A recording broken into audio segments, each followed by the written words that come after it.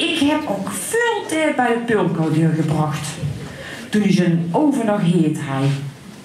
Ik kon uren naar dat vuur zitten kijken.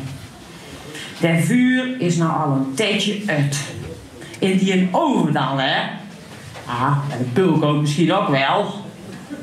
Nest kwam ik er nog langs gereden en toen riep hij... Tiske, kom eens kijken. Ik heb iets nieuws gekocht.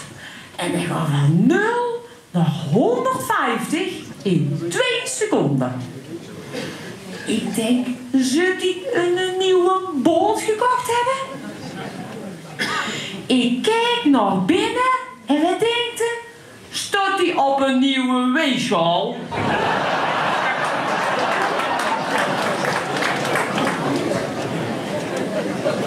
Rij ik weg bij de pulko, heeft iemand me een brommer omgedraaid. Weet u wel hoe die Willy eruit gezien heeft? Hij ik net met een brommer weer onder controle, knal ik boven op de dorpsfotograaf. En heet het hier weer, heet. Ik denk, ik krijg klop. Na 400 meter stopte niet. Ja, dan wonde niet ook.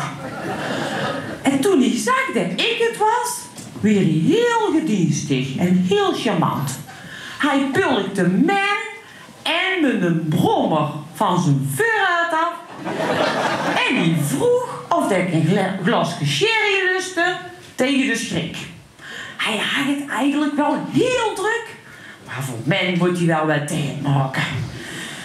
Hij kreeg alles voor zijn eens. Babyfoto's, pret-echo's, geboortefoto's. Geboortefoto's, dat deed je het liefst. Die lukken altijd als de ontsluiting maar goed is.